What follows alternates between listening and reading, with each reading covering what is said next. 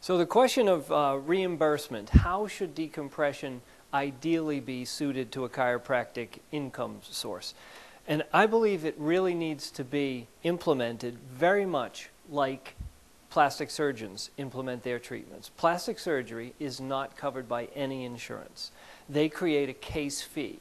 They look at the condition that you have and the condition that you want to have, and then they create a case fee and the case fee will include, be encompassing both the surgery and the follow-ups and various other and sundries that are important.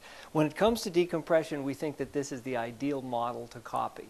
We think that when you can identify a patient as having a hernia, which is an emergency problem for most people, and or a chronic back condition, you set them up over a course of time. It can be anywhere from three to six to eight weeks of time and then a case fee is created. We have found that case fees anywhere from $1,200 to $2,200 are very uh, digestible by almost any audience of, of patient.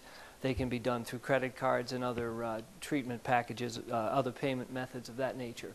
And this will include all of the modalities and or rehabilitation, potentially a back brace, and other things that you think are important to the totality of the treatment method.